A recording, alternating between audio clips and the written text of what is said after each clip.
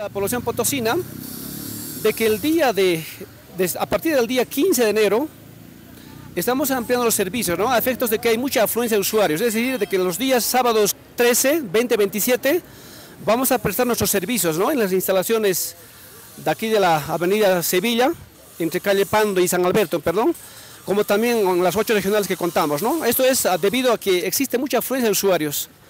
Como también queremos indicar a la población a partir del día lunes 15 de enero, estamos también ampliando los servicios. Vamos a ingresar como institución o vamos a prestar los servicios a partir de las 7 y media de la mañana hasta las 5 y media, ¿no? 17 y 30.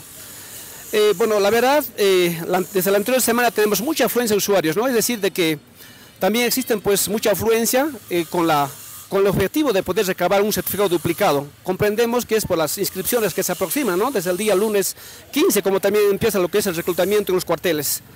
Estamos un poquito haciendo, reforzando lo que son los esfuerzos para poder atender a todos los que están acudiendo a las instalaciones del Ceresi. ¿Cuántas personas a diario se presentan en las oficinas? Sí, precisamente el día de ayer tenemos como referencia, hemos extendido 2.000 certificados de nacimiento, ¿no? Y una cantidad de 190 certificados de matrimonio, de funciones, eh, algo de 90 certificados.